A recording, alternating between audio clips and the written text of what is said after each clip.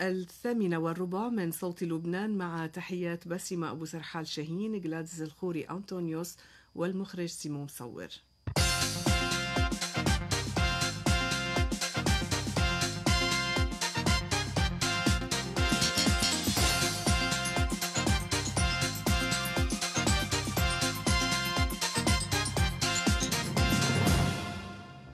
عناوين نشرة؟ رئيس الكتائب في الذكرى الثانية والثمانين لتأسيس الحزب يدعو رئيسي الجمهورية والحكومة ليكونا بشار الخوري ورياض الصلح 2018 يمكن اليوم حزب الله بيقدر يركع الطبقة السياسية بالتسوية اللي عاملها بس ما بيقدر يركع الشعب اللبناني. لا فرج في الأفق الحكومي وعون يؤكد أن الأزمة كبرت. بدنا نعرف مين أم لبنان حتى نعطيها لبنان. الحريري مستاء من مسيرة باسيل لحزب الله ورعد يجدد وجوب تمثيل السنة المستقلين. تمثيلهم في الحكومة ليس منة لأحد وما بيقدر حدا يتجاوزهم. الاتحاد الأوروبي يصادق اليوم على اتفاق خروج بريطانيا من التكتل.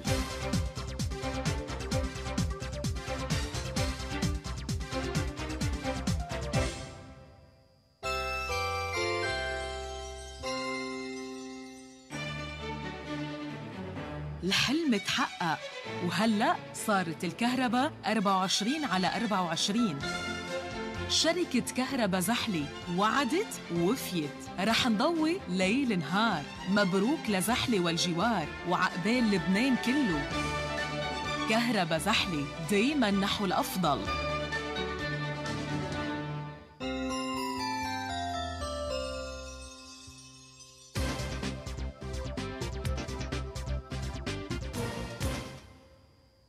يقفل الأسبوع رزنامته على عيد حزب عريق خط أمجاده بدم شهدائه الذين سجلوا نضالاته على صفحات التاريخ رافعا شعار الله الوطن والعائلة في خلال 82 عاما من خدمة لبنان.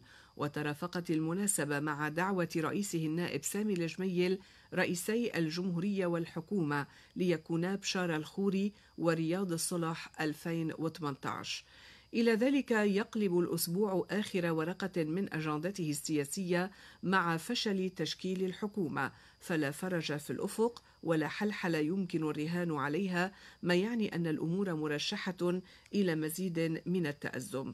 فالنواب السنة الستة ينتظرون تحديد موعد مع الرئيس المكلف الباقي على موقفه والذي لن يدفع الفاتورة مرتين كما قال في وقت وصف رئيس الجمهورية الأزمة بأنها كبيرة.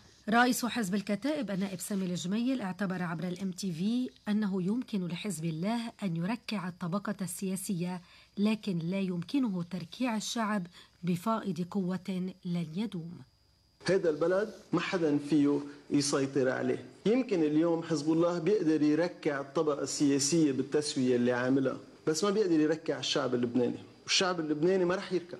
ويمكن اليوم بيقدر يمرق فترة يكون هو عم بيقدر يكون الأمر الناهي بالحياة السياسية بلبنان. بس هي ما بتدوم. لهذا السبب نحن بندعي حزب الله إلى أنه هلأ بهذا الظرف وبهذا الوقت بالذات ياخذ هو القرار الجريء بأنه يمد إيده لبقية اللبنانيين لبناء دولة سيدة وحرة ومستقرة ويحط حاله تحت سقف الدستور والقانون إلى جانب جميع اللبنانيين تنكون كلنا سوا عم نشتغل بالمساواة. لأنه إذا ضلوا حزب الله معتبر أنه هو أكبر وأهم وعنده حقوق أكبر من حقوق اللبنانيين هذا رح يؤدي إذا مش اليوم بكرة إلى انتفاضة عند الناس. ودعا رئيس الكتائب لمناسبة ذكرى الثانية والثمانين لتأسيس الحزب رئيسي الجمهورية والحكومة إلى رفض هذه الطريقة في الأداء. دعوتي لرئيس الجمهورية ولرئيس الحكومة لوضع نقطة على السطر لكل المراحل الماضية نشتغل على بناء لبنان جديد. خلص بفتكر أنه الكل اقتنع أنه لبنان ما بقى بينحكم بهذه الطريقة. الشعب اللبناني عم بيدفع الثمن عم بيدفع الثمن بمعيشته عم بيدفع الثمن باستقلاله بسيادته باستقراره بهذا البلد. لهذا السبب حان الوقت نوقف كل هالطريقة بإدارة الحياة السياسية ونقعد كلنا سوا تنبني لبنان جديد. وأنا بالنسبة لي اليوم إن كان الرئيس عون أو إن كان دولة الرئيس الحريري اللي هو شاب عندهم اثنيناتهم فرصة تاريخية كرمال تيكونوا رياض الصلح وبشارة الخوري تبع سنة 2018 شرط أنه يرفضوا هيدي الطريقة بالأداء يلي شفنا كلنا لوين وصلت البلد ويقولوا نحن بدنا نكون رجال الجمهورية الثالثة. الرئيس أمين الجميل رأى عبر برنامج اليوم السابع من صوت لبنان أن الأزمة اليوم هي نتيجة التسوية المصلحية التي حصلت. ما بقي بالميدان الا حديدين ما في لحزب الكتائب اليوم اللي باقي على طهارته باقي على مبادئه ما ساوم ما تنازل ما قبل بتسويات أنانية ما قبل بتسويات على المصلحة. تفضل دائما وكانت البداية كان الأساس للمصلحة العامة ولمصلحة الوطن للسيادة وللاستقلال وللحوكمة الرشيدة اللي عم نعيشه اليوم هو نتيجة التسوية المصلحية. اللي حصلت آه، عند انتخاب الرئيس هون. التسوية صارت هي اللي عم بتأدي إلى النتيجة هذه اللي بدق على الباب ياخذ الجواب. نحن استسلمنا بهالتسوية. هذه هذه تسوية استسلام وليس تسوية بناءة. فلذلك عم بيحصل اليوم هو طبيعي نتيجة التسوية. وبعدين مسار طويل منذ هذه التسوية. تنازلات وراء تنازلات وراء تنازلات جعلت أنه في فريق استقوى على فريق آخر ومن الصعب ألا ترجع ترده إلى حجمه الطبيعي. شهادات للكتائبيين والسياسيين في عيد الكتائب. السكفوري ليس من باب الصدفة أن تتزامن ذكرى تأسيس حزب الكتائب مع عيد الاستقلال وهو الحزب الذي ناضل من أجل سيادة لبنان واستقلاله ومن أجل الحفاظ على الكيان. وفي الذكرى الثانية والثمانين لتأسيسه استضافت صوت لبنان عددا من الشخصيات السياسية والحزبية التي أعطت شهاداتها بالحزب.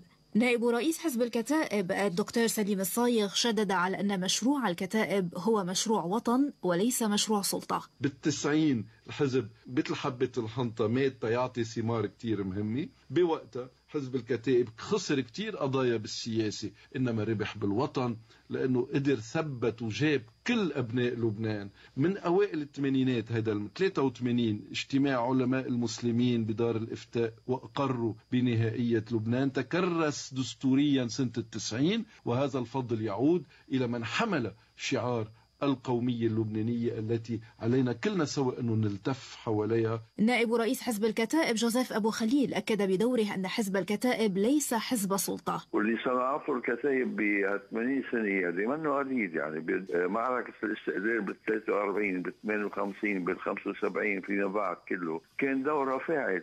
الكتائب مشروع وطن ودولة بتعيش مع المشروع بتناضل من أجله إذا لا يكتمل. الأمين العام للحزب نزار نجاريان أكد أنه لولا الكتائب ودورها لما بقي لبنان. نحن سياسة المختار والناطور منا مهتمين فيه. وسياسة تقاسم قالب الجبنة وتوزيع والتحاصص كمان مش مهتم فيها. نحن مهتمين بسياسة بناء الوطن ببناء الدولة وبدنا نضلنا ندق ناقوس الخطر ونحمل المشعل بعتمة ظلامية بالواقع السياسي اللبناني. نحن ما منضيع الهدف تبعنا. هيدا الفرق يمكن بيننا وبين غيرنا. المستشار العام لرئيس حزب الكتائب فؤاد أبو ناظر قال إن الكتائب شاركت بنشوء لبنان. بكل حقبات اللي مرقنا فيها بحزب الكتائب كنا نحن مسؤولين وحسينا حالنا مسؤولين حتى وقت ما كنا مشاركين بالحكم. مش هيك نحن شاركنا بنشوء لبنان. من وقت ما خلق لبنان نحن مواكبينه للبنان. من سنة 36 وفيما بعد بالاستقلال خضنا معركة الاستقلال وأخذنا خيار صعب والخيار كان رايح عكس التيار بالمجتمع المسيحي بوقتها. واليوم نحن عم نشارك كمان بصناعة لبنان. وكانت مداخلة أيضا لعضو المكتب السياسي سمير خلف. بتعز علينا كثير الذكرى ضحينا ونضلنا كثير بحياتنا تنحافظ عليها. وإن شاء الله القيمين على البلد يقدروا يحافظوا على الاستقلال وذكرى الكتائب هو ذكر استقلال لبنان. الوزير السابق رشيد درباس تحدث عن نظرته للكتائب ودورها. علينا أن نقر أولا أن تأليف حزب الكتائب أتى من خارج السياق السياسي التقليدي لجهة الزعامات السياسية المسيحية. فالزعامات كانت متوارثة بين العائلات بصورة تقليدية. هذا لا يعني أن مؤسس حزب الكتائب لم يكن من تلك العائلات ولكن همه انصرف إلى الطبقة الوسطى التي وجدت في أحضان الكتائب فرصا لا تجدها لدى الزعامات التقليدية. النائب السابق فارس سعيد أعتبر أن الكتائب ضمانة البقاء وعليها أن تقود الاستقلال الثالث. هذا حزب تخصص بسيادة لبنان. هذا الحزب مدعو قبل غيره وقبل أي حزب آخر وقبل المسلمين وقبل كل الناس أن يقود عملية استقلال البلد. اليوم لبنان للمرة الثالثة هو تحت الوصاية الإيرانية. من بعد الوصاية الفلسطينية والوصاية السورية اليوم هو تحت الوصاية الإيرانية والدعوة هي لحزب الكتائب أن يقود عملية الاستقلال الثالث للبنان بهذا الاتجاه. رئيس حزب السلام اللبناني روجي إدي تحدث عن تاريخ تأسيس الحزب. كانت الفكرة التأسيسية لحزب الكتائب أن يكون هذا الحزب الخيار البديل للحفاظ على الكيان اللبناني. أثر 1958 نظر اللبنانيون بأكثريتهم الساحقة إلى الكتائب أنها القوة التي تستنفر للحفاظ على لبنان وديمقراطيته. المحامي نعوم فرح رأى أن الكتائب حاجة وطنية وقومية للبنان وقد أثبتت ذلك في خلال تلك السنوات. دور الكتائب التاريخي هو دور لأنه عنده مبادئ ما بيمر عليها الزمن. هو حزب باقي ليستمر وما فينا نقيس أهمية حزب بالوقت الزمن الطويل على عدد نواب أو عدد وزراء. إنما يلي بيأكد ديمومة الأحزاب هي عقيدتها. الرئيسة السابقة للقوى النظامية في حزب الكتائب جوسلين خويري تحدثت بدورها عن تجربتها النضالية في الحزب. كانت إيجابية، كان فيها كثير من القيم وفيها كثير من النظافة والشفافية. أنا بلشت بالسبعينات بمصلحة الطلاب وبعدين بالحرب لل 85 بقى هالخبرة بفتخر فيها يعني بعتبرها شيء بوزيتيف بحياتي وكتجربة حزبية بعتبرها كانت سامية. كرامي يرد على عون البحث جار عن سليمان الحكيم بعد الفاصل.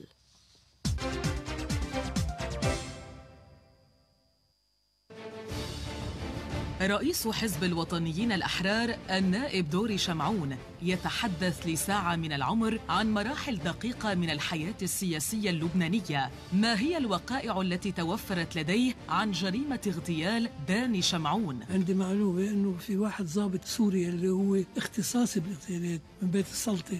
اجى قعد بالأوتيل Confort قبل من بليلي ماذا قال له العماد ميشيل عون عندما عرض عليه التعاون الانتخابي عام 2005 بعد عودته من المنفى؟ قال لي ليش أنتم موجودين؟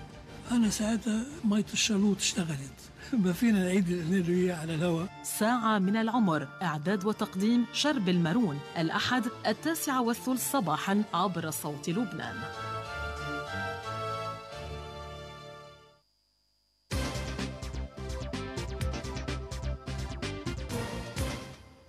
الملف الحكومي حضر في كلمة رئيس الجمهورية ميشيل عون أمام المشاركين في سباق الاستقلال. اليوم نحن عم نمر بأزمة تأليف الحكومة اللي هي منا أزمة صغيرة لأنها كبري. والأزمة بتذكرني بسليمان الحكيم وقت اجى لعنده امرأتين مع ولد وكل أم كانت عم تدعي إنه هي أم الولد. بعد جهد جهيد اجى سليمان الحكيم قال له رح نحكم بالعدل بيناتكم. وبنفسخ الولد شقفتين صرخت الأم ساعتها وقالت له لا أعطيها إياه كله. وهون عرف سليمان الحكيم مين هي الأم. بدنا نعرف مين أم لبنان حتى نعطيها لبنان. النائب فيصل كرامي رد على رئيس الجمهورية وغرد كاتبا البحث جار عن أم الصبي وأيضا عن سليمان الحكيم. مصادر مطلعة لفتت إلى أن رئيس الجمهورية يرى أن الظروف الحرجة تتطلب تنازلات من فريقي الأزمة معتبرا أنه قدم تنازلات في الأشهر الماضية في خلال السعي إلى مخارج لعقدة تمثيل القوات اللبنانية وبالتالي يفترض بالآخرين أن يقتدوا به ومنهم الرئيس المكلف. ولم تستبعد المصادر حسب الحياة أن يكون هذا ما قصده أمس حين تحدث عن أم الصبي بينما الحريري يعتقد بدوره أنه قدم تضحيات ولن يدفع الفاتورة مرتين كما قال. إلى ذلك نقلت صحيفة الحياة عن مصادر مطلعة أن الحريري أبدى استياءه بدوره من مسيرة وزير الخارجية لحزب الله لاعتباره ذلك تراجعا عن تضامن رئيس الجمهورية معه في رفضه تمثيل النواب السنة. وزير الخارجية والمغتربين في حكومة تصريف الأعمال جبران باسيل أمل أن تبصر الحكومة النور للأسف بعده بتحكم فينا بلبنان نزعتين نزعة فرض ونزعة استئثار واحد بده ياخد كل شيء لإله واحد بده يفرض على غيره. وهود اثنين ما بيشبهوا لبنان. وهود اثنين ما فيهم يكسروا لبنان. كل مرة تحكموا فينا صار في خلل وانضرب كل البلد واقتصاده. وناسه. الجهة اللي عم تفرض كمان ناسها متضررة ومأذية بالاقتصاد. والجهة اللي عم تستأثر كمان ناسها متضررة ومأذية بالاقتصاد. النائب محمد رعد جدد وجوب تمثيل النواب السنة المستقلين. تمثيلهم في الحكومة ليس منة لأحد وما بيقدر حدا يتجاوزهم. على كل حال نحن نأمل أن تتشكل الحكومة في أسرع وقت والمسألة مرتبطة بحسن النية لدى الكل. المسألة مش مسألة حسابات. النائب محمد الحجار أكد أن الرئيس المكلف هو سيد قراره. حزب الله يريد اعتقال الحكومة اليوم. حزب الله يريد اعتقال لبنان اليوم. هناك توجيهات إيرانية واضحة. تريد أن تأخذ لبنان رهينة أن تأخذ الساحة اللبنانية رهينة وحزب الله ينفذ التعليمات. اليوم أنا بتقدير ما لازم نضيع البوصلة. في حكومة جاهزة في تشكيلة جاهزة كان الكل منتظرها أوقف إصدارها حزب الله. أعلنت قيادة الجيش أنه في إطار الإجراءات الأمنية المتخذة لتوقيف كبار تجار المخدرات حصل تبادل لإطلاق النار في جسر الباشا أثناء مطاردة, مطاردة دورية لمديرية المخابرات لسيارة يعمل من في داخلها على ترويج المخدرات. ونتيجة التحقيقات المكثفة تبين أن المواطن عين نون أقدم على تأجير سيارة للفلسطيني حاء عين وأن سيارة أخرى قد تم استئجارها أيضا.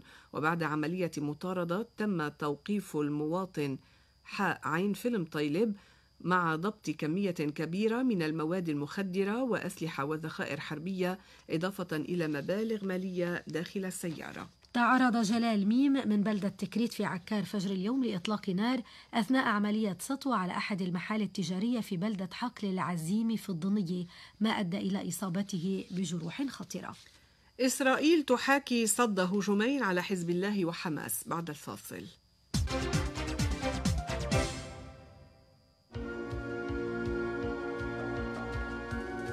الاستقلال ذكرى واحتفالات فيما الحكومة معلقة والبلاد ساحة صراعات محلية وأقليمية واللبنانيون أسرى فساد ومحاصصات فكيف الخروج من المأزق؟ جرازييلا خوري تناقش هذه المحاور وغيرها في كواليس الأحد مع مدير تحرير صحيفة النهار غسان حجار هل وحد الاستقلال اللبنانيين نعم أم لا؟ لآرائكم راسلونا عبر تويتر هاشتاج كواليس الأحد كواليس الأحد العاشرة والثلث من صوت لبنان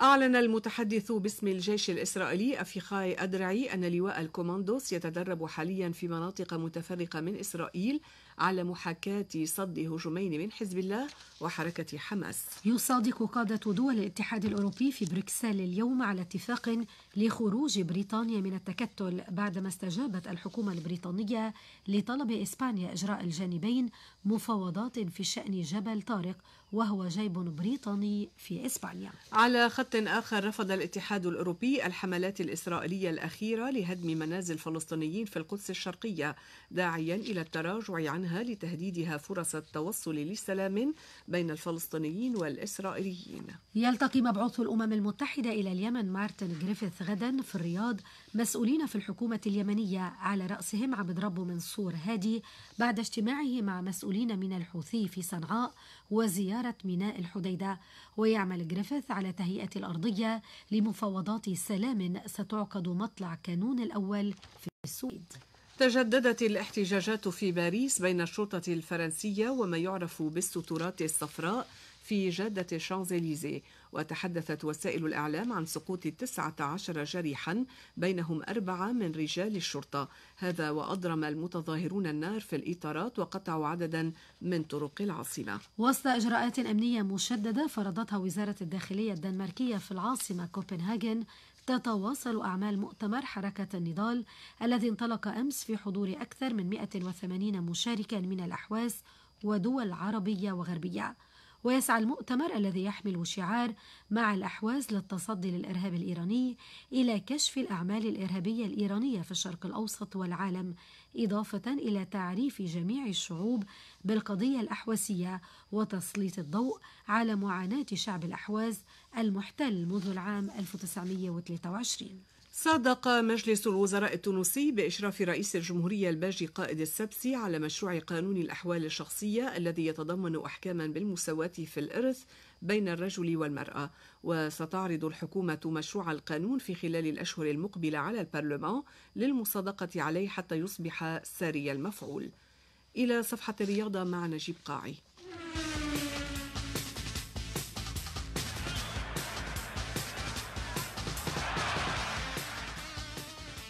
صباح الخير. البداية اليوم رح بتكون مع الأخبار المحلية تحديدا مع كرة القدم مع المرحلة الثامنة من بطولة لبنان. شباب الساحل بيتعادل مع ريسنج البيروتي بنتيجة 3-3 بالوقت اللي تضامن صور بيتغلب على البقاع 2-0 والأخاء على الغزية 2-1 اليوم في عنا ثلاث مباريات العهد السلام زغرتا طرابلس الأنصار والنجمة بمواجهة الصفا. منتابع مع الأخبار الدولية بنبلش مع الفورمولا 1 أول المنطلقين ب Grand Prix ابو ظبي بعد وقت قليل رح بيكون البريطاني لويس هاملتون بطل العالم ورح بيكون إلى جانبه زميله بفريق مرسيدس فالتيري بوتاس ومن ثم ثنائي فيراري فيتيل ورايكونن. أما بعالم التنس ففرنسا عم تربح على كرواتيا بمباراة ال double امبارح وبتقلص الفرق إلى 1 2 بنهائي كأس ديفيس. كرواتيا متقدمة 2 1 واليوم مهمة صعبة لشاردي وتسونجا بمواجهة تشيليتش وتشوريتش الأقوى. على أرض الملعب. بنتابع أيضا أخبار كرة القدم باريس سان جيرمان بيربح بالدوري الفرنسي بالوقت اللي عم نشوف سقوط جديد ل ريال مدريد بالدوري الإسباني وتعادل بين أتلتيكو مدريد وبرشلونة واحد واحد. أما بالدوري الألماني فبايرن بيتعادل مع فورتونا دوسلدورف 3 3 دورتموند بيتغلب على ماينز 2 1 وبيعزز من صدارته لترتيب البطولة.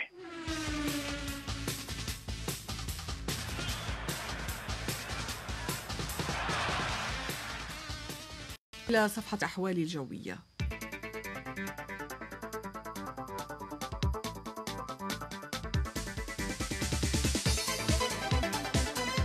الجو اليوم غائم جزئيا من دون تعديل يذكر بدرجات الحرارة مع تساقط أمطار متفرقة في فترة قبل الظهر. كان في هذه النشرة رئيس الكتائب في الذكرى الثانية والثمانين لتأسيس الحزب يدعو رئيسي الجمهورية والحكومة ليكونا بشار الخوري ورياض الصلح 2018 يمكن اليوم حزب الله بيقدر يركع الطبقة السياسية بالتسوية اللي عاملها بس ما بيقدر يركع الشعب اللبناني. لا فرج في الأفق الحكومي وعون يؤكد أن الأزمة كبرت. بدنا نعرف مين أم لبنان حتى نعطيها لبنان. الحريري مستاء من مسيرة باسيل لحزب الله ورعد يجدد وجوب تمثيل السنة المستقلين. تمثيلهم في الحكومة ليس منة لأحد وما بيقدر حدا يتجاوزهم. الاتحاد الأوروبي يصادق اليوم على اتفاق خروج بريطانيا من التكتل. بهذا نأتي إلى ختام نشرتنا نشكر لكم متابعتكم.